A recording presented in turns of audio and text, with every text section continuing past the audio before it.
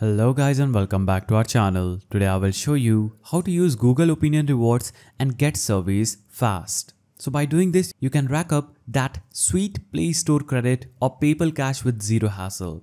Let's go.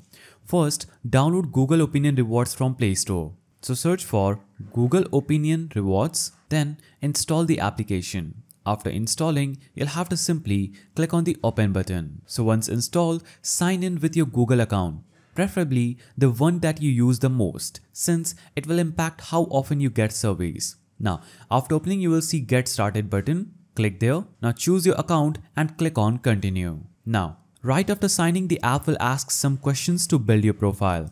Answer honestly and completely. Your age, gender and location help determine which surveys you will qualify for. Also, enable location permissions. This one's crucial. Many surveys are location based, like after visiting a store or a restaurant. You will get a notification whenever new survey is available and these are usually 1 to 3 questions and take under 30 seconds to finish.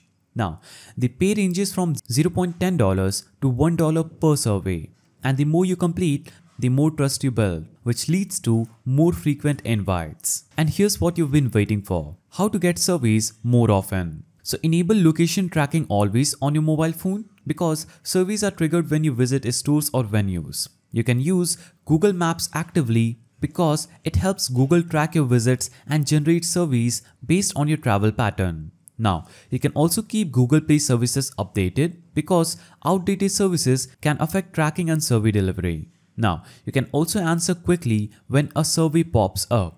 Delays or missed surveys reduce your activity store. And finally, open the app daily even if no survey is available. Opening it signals that you are an active user.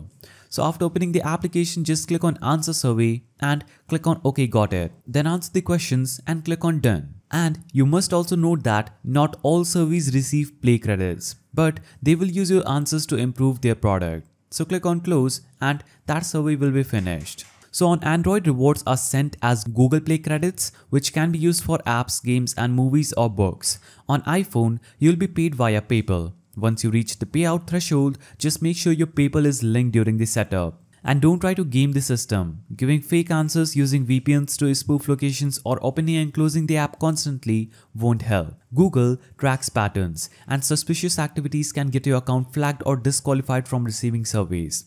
And that's your full guide to Google Opinion Rewards. If you found this helpful, please don't forget to give it a thumbs up and thanks for watching.